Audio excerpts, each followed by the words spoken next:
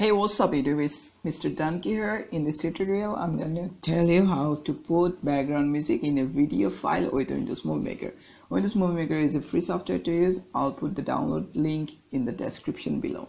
So let's get started with that. First of all you need to open the video file with Windows Movie Maker as I'm doing it now.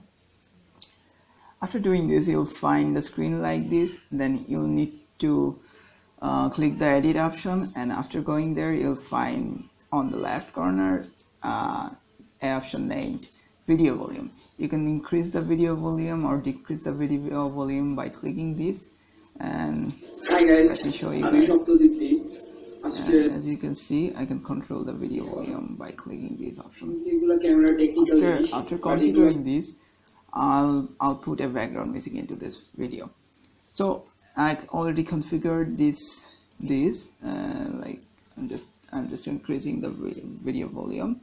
Hi guys and as you can hear there is no background music in this video so I'm gonna just put this audio file into this video as a background music so let's get, let's start it now hi guys আমি সপ্তদীপ্তি আজকে photography and তিনটা as you basic can hear as you can hear the this audio file appeared as the background music of this video so it can- and now we can control this mu- uh, background music volume by clicking on the music tool and then on the top of the left corner is find music volume.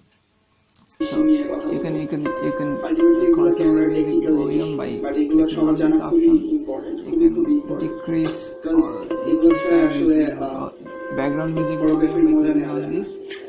And after configuring all these things you just need to click on the file of file and then just save the movie with your desired uh, resolution. So this is the tutorial. Hope you hope it helps you. If it does then please do me a favor by clicking on the thumbs up button and see you on the next tutorial